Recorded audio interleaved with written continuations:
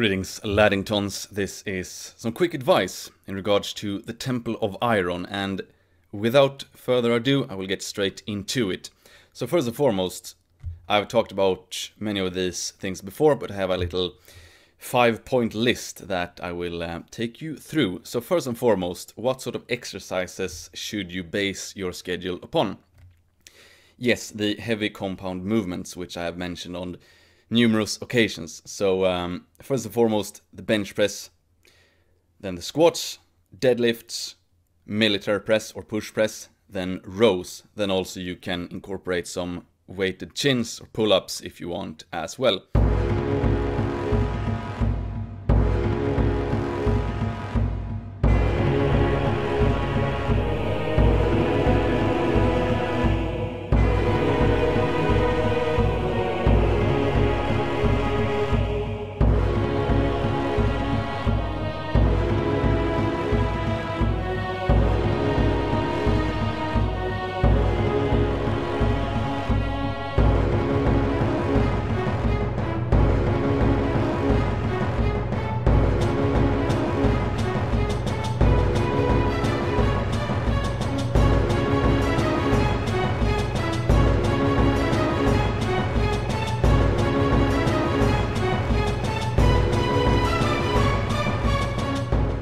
Then of course you can add in smaller complementary exercises, but you know it breaks my heart when I go into the gym. I see young, skinnier guys who are spending their entire session focusing on uh, various biceps curls instead of you know putting on plates on the squats and deadlifts. So keep those exercises at the center of everything you do. Then at the end of the session you can add in some biceps curls or some lateral raises or something else, but those should be your base. And that also brings me into my second point, which is the focus on progression. If you don't force your body to adapt to a heavier workload, it will not do so and you will remain at your same size because if you don't force your body, then it's just unnecessary for it to put on some size. But if you several times a week force it to get bigger and stronger and more durable, yeah, it will adapt. So how do you do it? Yes, you follow a schedule, you follow a progression plan, you try to get stronger in the aforementioned exercises. So if you want to have a bigger chest, yeah, get stronger in the bench press. If you want to have an overall bigger and stronger physique, focus on deadlifts and squats. Bigger shoulders, push press. So that's the way forward if you want to put on some size. You have to approach it in um, like a math formula you know you have structured your schedule and then you follow it so that you add either repetitions or some weight every week. So think about it in terms of a calculation, think about it in terms of forcing your body to grow and uh, disregard everything else. If you're unnatural, that's the only thing you should think about. Continuously getting stronger. And then someone might say, oh, I don't really care about how strong I am. I just want to look good and uh, have a lot of muscle. But again, if you're unnatural, the only way for you to get bigger and aesthetic is to get stronger. And that also brings me into my third point. This is very important for naturals who are seeking optimal muscle gains, and that is to train everything at least twice a week. And that is because of the length of the muscle protein synthesis, which is shorter for a natural and longer for someone who partakes in dark side supplements. So if you're natural like me, you should hit every muscle group at least twice a week to optimize your gains. Now, I don't train this way at the moment because I'm focusing on something else for the autumn, but I will all, but I will keep you all updated on that later on. But anyway, keep that in mind if you're a natural. Try to hit everything twice a week. Point number four. Make sure that you sleep enough to recover and make sure to eat enough to be able to perform and progress. So sleeping, I've talked about it on numerous occasions before because it's the number one health thing you can do to optimize your overall well-being as a human and it makes such a difference especially when we're talking about performance in the gym, progression in the gym and building muscle.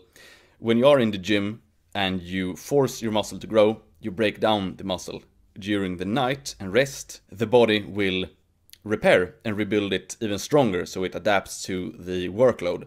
So keep that in mind. If you don't sleep well enough, your body will not have the optimal, you know, hours to um, to rebuild your body. And if you don't sleep well enough, it's very hard for you to progress in the basic compound exercises. So if you are optimally speaking, you're at near your limit all the time in bench press, for example, or deadlifts. Yeah, for you to progress, then it needs to be you need to sleep enough. If you don't sleep enough, there is no way you will be able to perform.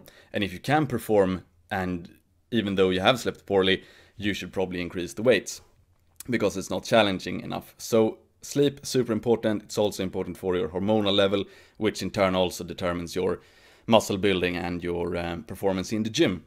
And in regards to food, view it as a means to perform. You increase your amount of carbohydrates so you can perform in the bench press, for example, or in the squats, for example. So view it in that way. If you're stalling, if you think it gets really heavy, okay, increase the amount of food. So if things start getting heavy, increase the amount of food, especially carbohydrates. Then point number five, train with passion and with joy. So something else you can see is guys being in the gym, they view it as a chore, they view it as something they have to just push through, and sure, some days it is, but if you think about it this way, you are healthy, you have no injuries, you have, you know, two legs, two arms, um, and you don't have anything impeding your progression upwards and onwards.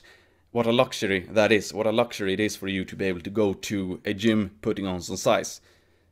So instead of viewing it as some sort of horrible chore that needs to be done, you can also view it as a great opportunity to get better. Not everyone has the luxury, and if you want to be humble, be as humble as I am, you can use this meditation technique that you just envision.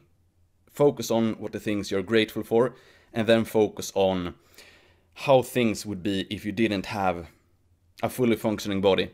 And then you will be much more appreciative of the things you have. And in doing so, you will also, you know, appreciate the things you can do with the things you have. So keep that in mind when uh, you don't feel like training. View it as a luxury. Then, of course, also you should make it into something epic. It's just not about going in to do a few sets of squats. It's an epic endeavor. So put on some good music. You can listen to my pre-workout list. I will link it below on Spotify. Good stuff, if I may be so bold.